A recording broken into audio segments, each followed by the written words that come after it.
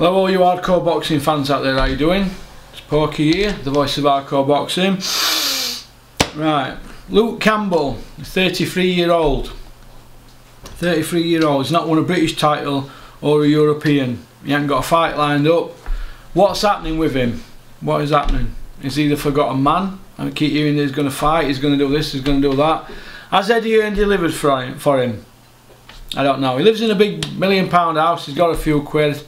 So that's good in it, but he hasn't got a world title and he was Olympic gold medalist. So has the promoter done his job? I'm not so sure. I am not so sure. He's only headlined once in UK. That were against Tommy Coyle in all. Uh, so I don't know what to make of it all, to be honest. I don't know what to make of it all, but it is what it is, isn't it? But I just want to know what's happening with Luke Campbell's career. Uh, it looks to me like he's the forgotten man. A bit like Warrington, Smith and Saunders, all talented kids. So what's happening? Or is, is he not one of favourites, Eddie? Alright?